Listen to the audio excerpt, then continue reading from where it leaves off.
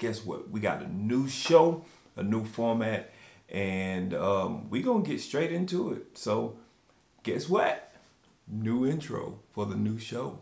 How about that?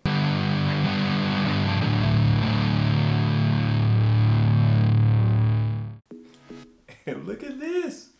Look what I'm not shooting on anymore. Y'all, it's a good day. I don't know if you saw the timestamp. This is only gonna be a five minute video. Total, total. I don't know if y'all know this or not, but YouTube is the second largest search engine in the world, in history. Like, first is the Bible, second is Google. Well, okay, YouTube is third. But the point is, is that a lot of people, they come on, they wanna know how do I, whatever, whatever, whatever they watch and they get off. So what we're gonna try to do is that we're gonna try to answer a really, really, really, really hard question in like two minutes and then everybody be on their way. And here's the hope. The hope is, is that I take this really complicated thing, wrap it down in two minutes, and that gives you something in exchange you go watch my other stuff, you hit subscribe, you hit like, you hit a comment and say, hey, great job, you saved my life. So this is how this is gonna work. I'll say what the question is, I'll set that up, I'll give two minutes to answer, and then if I'm under the two minutes, we can dance around for the next 30 seconds. If I'm over, it stops right there, and I'm a terrible failure, and I've lost your trust forever either way it goes. So a video I just uploaded, one minute long and I watched it at least 10 times and the views are only four. Someone make it make sense. One view per 30 minutes. Hashtag YouTube be lying. Okay, so here's the question. Why does YouTube take away my views? And let's start the clock now. YouTube is a business.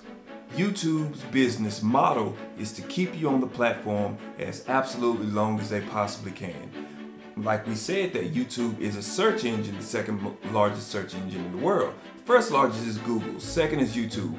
People come on YouTube to see how do I change a tire? How do I change a light bulb? How do I lose 50 pounds? How do I become a YouTube sensation? How do I learn how to do this new dance? Blah, blah, blah, blah, blah, blah, blah. That's what they come on YouTube to do. I do that, you do that, that's what everybody do. YouTube's business model is to get you on the platform, keep you on the platform, and keep you watching videos. You watch videos, those advertisers who pay millions and millions and millions and millions and millions of dollars to YouTube to be on that platform to advertise to you.